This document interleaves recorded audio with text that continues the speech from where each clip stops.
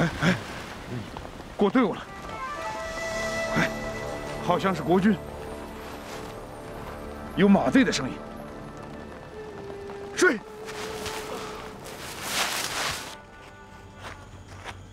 大杨哥，我实在是走不动了，我。哎，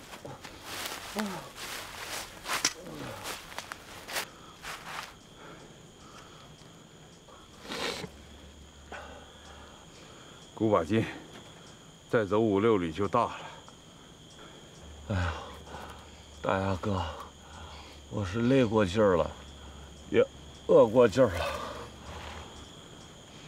等一到聊城，就让他们给咱来盆红烧肉。大牙哥，那要是找不到他们呢？咱这不是白跑了吗？别说丧气话，你这熊样还抗日呢，快起！哎呀，别动动，别动动，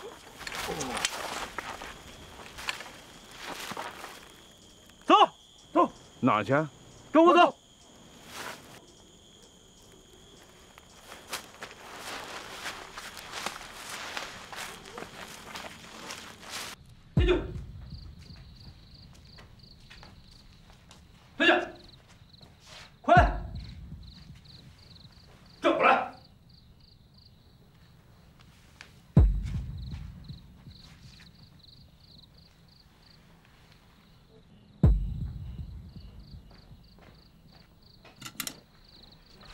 师长，咱俩奸细。什么奸细？你你才是奸细。王建，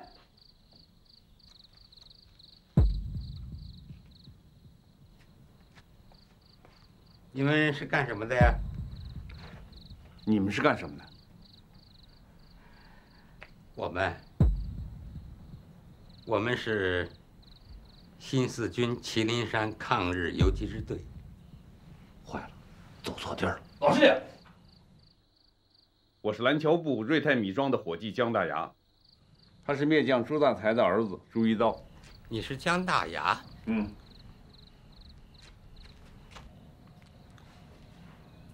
我说怎么面熟呢？姜大牙，你还记得我吗？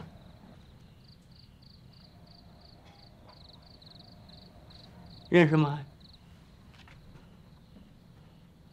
也有点面熟。面熟。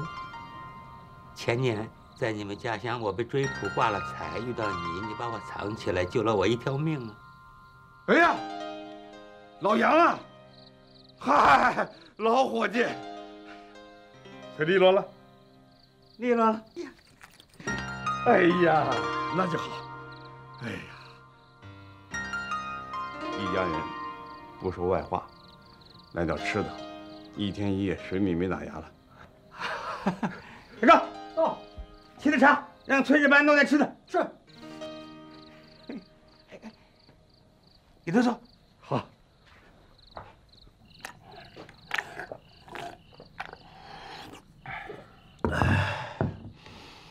哎，两年前的事儿，要不是你提起来，早忘了。江先生通情革命，有正义感。我是一辈子也忘不了的。哎，小事一桩。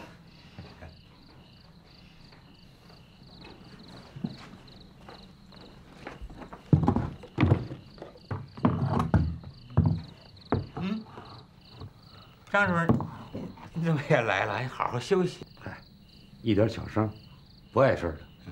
再说也快好了。哎，这二位新来的？我来介绍一下。这是我们支队的政治部主任张福景。好，这两位是我的老相识了。这江先生还救过我的命。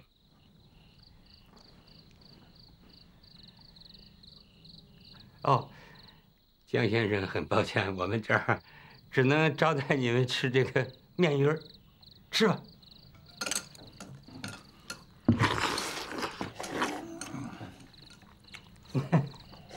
哎呀，二位这是去哪儿啊？南墙部让东洋鬼子占了，我们跟着跑反。跑反应该往河东跑啊。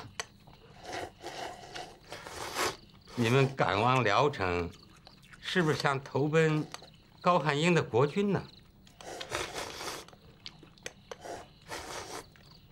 聊城已经被日本侵略者占领了。昨天晚上，我们配合高团长打了一阵子，没有打下来。高团长带着部队已经撤退到南边长江边上去了。你们没有遇到吗？没，没遇上。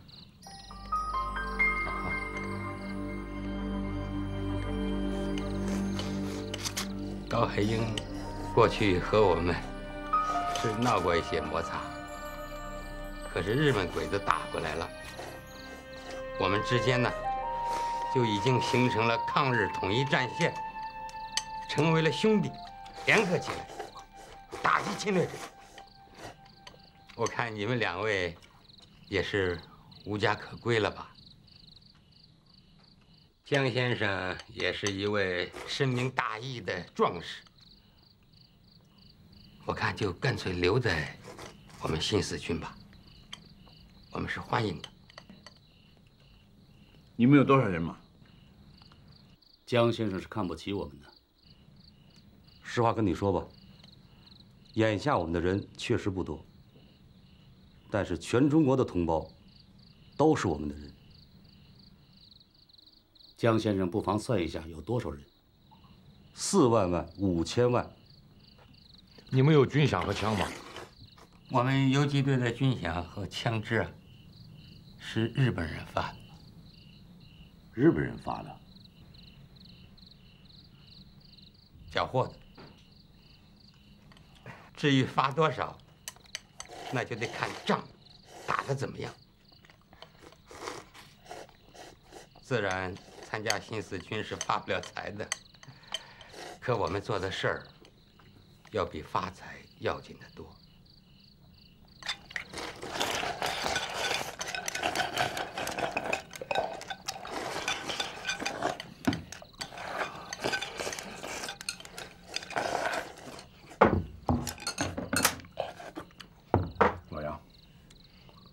上个茅房。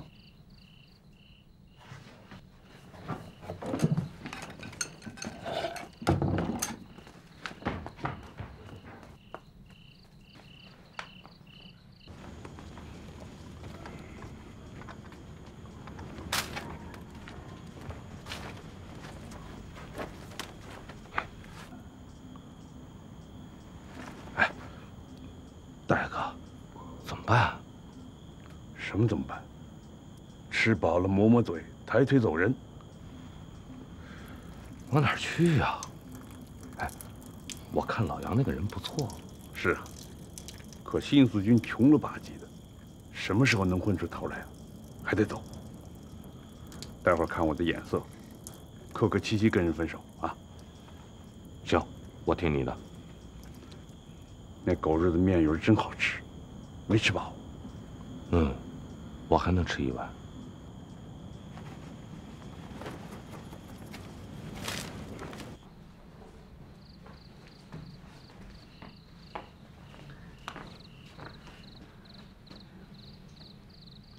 二位商量的怎么样？能留下吗？老杨，本来无论如何，应该买你的面子。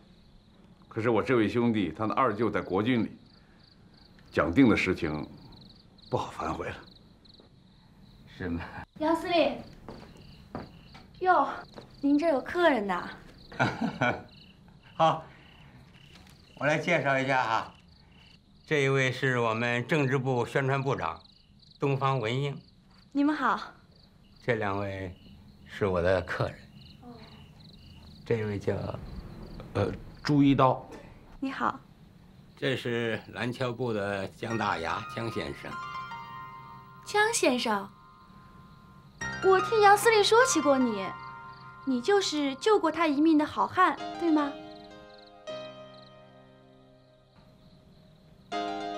杨司令，你的客人不理人。这什么司令？谁是司令？鄙人叫杨天辉。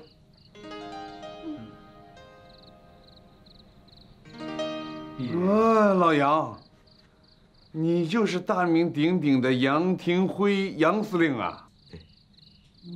哎，蓝桥部说书的都知道你，说你是三头六臂、火眼金睛，刀枪不入、飞檐走壁，说你跺跺脚，整个麒麟山都要晃悠。哎呀，那都是人们编出来吓唬敌人的。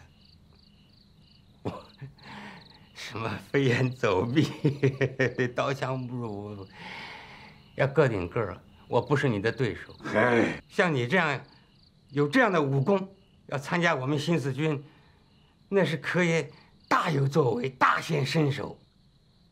江先生要加入我们新四军，对，太好了，欢迎你们。娘的，这新四军我们当定了。大牙哥，呃，不过我们先试试看。嗯，如果合适，我们就当到底；如果不合适，那再说。大牙哥，既然是留下了，我们就不客气了。再来盆面鱼。